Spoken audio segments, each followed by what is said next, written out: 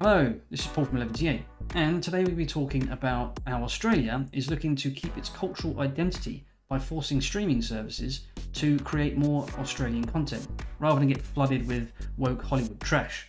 So let's go and read about it.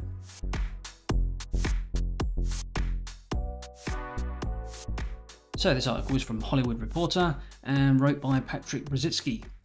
Australia to impose local content quotas on streaming platforms the government promises necessary action to prevent Australian storytelling from being drowned out by overseas programming, especially from Hollywood.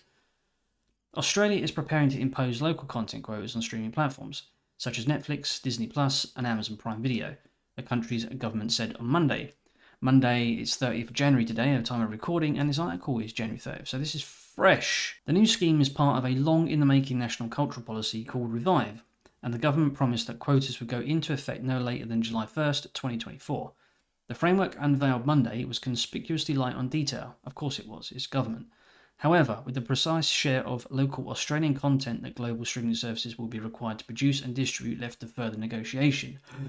I'm out of breath.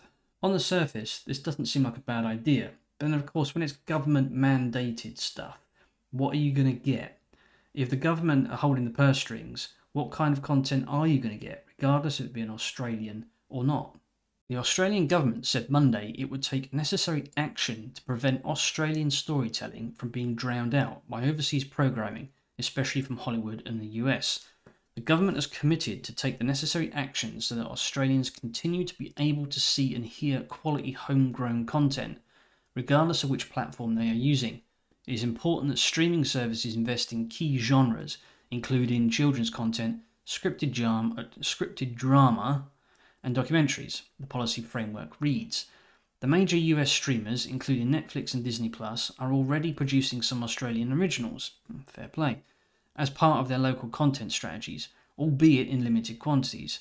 Netflix scored a breakout hit late last year with its revival of the cult Australian high school series Heartbreak High. That seems familiar, actually, I might have seen some of that and Disney Plus has launched some local docu-series, including female sports show Fearless, the inside story of the AFLW and Shipwreck Hunters Australia. I've got no idea what the AFLW is. I'll probably look it up after I finish recording. Um, but yeah, okay. On the, again, on the face of it, it seems perfectly reasonable. Hey, you know, just invest in local talent and uh, you know bring forward some decent Australian content. But with government, there's always a catch. The revived policy posits that Australians are now watching more content on streaming platforms than via traditional broadcasters, and that the local subscription video industry grew 50% in 2021 to 1.7 billion Australian dollars. Oh no, sorry, 1.7 billion dollars to 2.4 billion Australian dollars, that's currency conversion, in total revenue. The Australian screen industry has been lobbying its government for years to apply content quotas to the large global streamers Screen Producers Australia has been pushing for a model under which platforms must spend 20% of their local revenue on Australian productions. But given the diversity of monetisation models and the broad array of local and international partnerships streaming operators employ in Australia, hammering out the policy details remains fraught with complexity. Clearly defining what defies sorry, clearly defining what qualifies as Australian content also remains to be decided.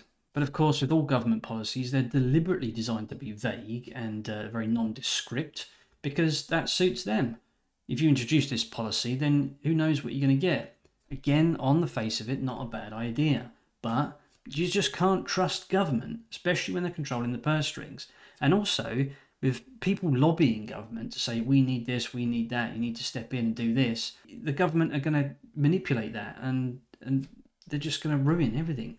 The Australian government says it will continue to hold consultations with the streaming companies and local industry groups until legislation is introduced in the third quarter of 2023. Industry observers expect the policy to include a required share of revenue that must be spent on Australian content, requirements for privileged genres, such as documentaries and kids' content, and minimum carriage quotas for discoverable Australian content on all platforms, among other trade terms. I've got mixed feelings about this because this almost seems like a 20% tax on streaming services. And then what kind of content are you going to get? Are you going to get stuff just squirted out that just to fulfill the quotas, or are you going to get decent content?